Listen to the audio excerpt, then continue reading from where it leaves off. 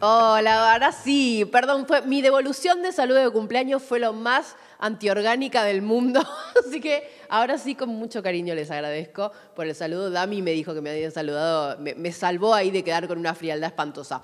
Bueno, segundo móvil de la tarde, eh, nos vinimos hasta Sexur, que está en Cerro Largo 1176. Sexur eh, recibe en el día de hoy una charla súper linda acerca de un libro. Vendría a ser como una nueva presentación de este libro que escribió Arnaldo Gomenzoro junto con Elvira Lutz, que estuvo hace poquito en el programa charlando con ustedes, eh, terapeuta, sexóloga, experta estos temas. El libro se llama La pareja. Mirá qué título. Yo cuando me dijeron, vas a hacer este, la presentación de la pareja, dije, ay, ay, ay, bueno, me, podría estar horas hablando de este tema. Les comenté que tengo como un máster, pero supongo que somos más de uno los que tenemos másters en este tema. Pero la más idónea para hablarnos de esto es Elvira, que muy amablemente se vino un ratito antes de que comience la charla para, para hablar con nosotros. Elvira, bienvenida una vez más a Mira Montevideo. Y bueno, felicidades por este libro que, que ya tiene su recorrido. Muchas gracias, buenas tardes, muchas gracias. Eh, feliz de encontrarme nuevamente con ustedes y que podamos a través de, este medio difundir lo que nos hemos propuesto con, a partir de o a propósito del contenido de este libro de la pareja, ¿no? Este, un tema que se las trae. Eh, ¿Por qué, por qué este, o sea, yo sabría por qué, pero ¿por qué decís vos que es tan importante seguir abordando este tema, eh, más allá de que es algo como instalado en nuestras vidas, es, parte de nuestras vidas, seguir hablándolo, actualizarlo, eh, compartir? Bueno, me imagino que el trabajo está basado en experiencias, en, conocimiento de análisis de de ¿cómo se dice?, de, terapias, ¿no? Este, ¿Por qué es importante seguir abordándolo, renovarse, eh, pensar en los nuevos estímulos que tenemos y cómo eso afecta a la pareja? Sí, fueron años de, trabajo. Nosotros con Arnaldo más de 50 años de convivencia y de actividad em, atendiendo a personas que em, presentaban determinadas dificultades en relación con el vínculo de pareja. Eh, muchas eh, de las consultas aparecían inicialmente como una consulta sobre dificultades a nivel de la sexualidad, pero cuando nosotros empezábamos a indagar, a profundizar, la problemática estaba instalada en otro lugar, estaba instalada en el vínculo, ¿no? en lo que significa la relación de pareja en lo que significa el estar juntos, vivir juntos, compartir el tiempo que sea.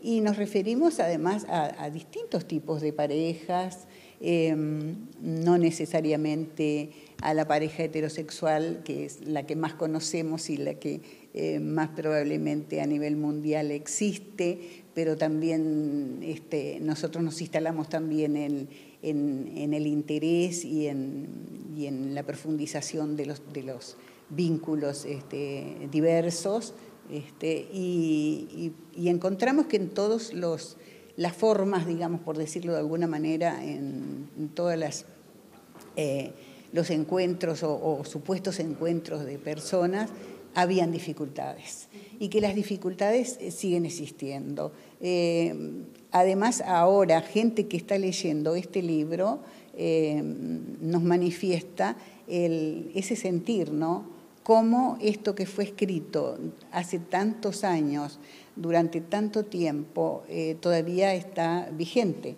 cómo muchísimos de los aspectos que nosotros señalamos en relación con el tema este, siguen vigentes porque obviamente el problema no está centrado ni, ubicado en lo que puede ser la disfunción o la dificultad a nivel sexual de las personas, sino que está muy vinculado con los valores con los principios que la gente tiene, ¿no? con la filosofía de vida, con lo que quiere uno y lo que quiere otro, con la desactualización y con el... Hay otro tema también importante que es el no escucharse que es este, el diálogo es fundamental en el vínculo, ¿no? Y nosotros trabajamos muchísimo sobre ese tema porque la gente no se escucha. Mira, ya que estás diciendo esto, yo te quiero hacer una pregunta que es casi desde el personalismo también. Eh, ¿Qué es escucharse de verdad? ¿no? Porque uno contesta muchas veces cuando le hacen este planteo o uno lo hace, no me escuchás, no me estás escuchando, no me escuchás, y, y uno cree que sí. O sea, ¿cómo, ¿cómo entiende el otro? ¿Cómo se siente realmente escuchado el otro? Claro, el tema es que siempre creemos que cada uno tiene la verdad. Y la verdad no la tengo ni yo ni tú. La verdad la tenemos que ir a buscar juntas, ¿no? Unidas o unidos. ¿no? a través del análisis, de la reflexión, de la profundización. Pero hay un hecho bien importante que es el respeto por el otro o por la otra, ¿no?